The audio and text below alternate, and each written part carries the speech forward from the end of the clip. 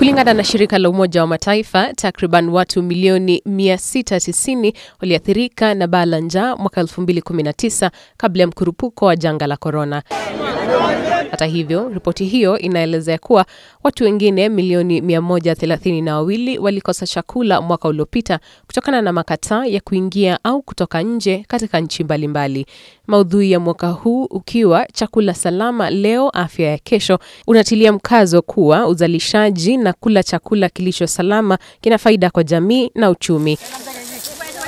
Hata hivyo, nchini Kenya, hatua ya kuhakikisha chakula ni salama imekumbwa na changamoto si haba, kwani kumekuwa na tetesi kuwa kuna utumizi wa kemikali kupita kiasi wakati wa upanzi, uhifadhi au matayarisho ya chakula.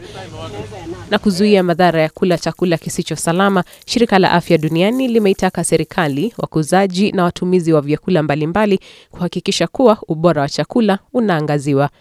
Winnie Lubembe, Mwanga wa Ebru.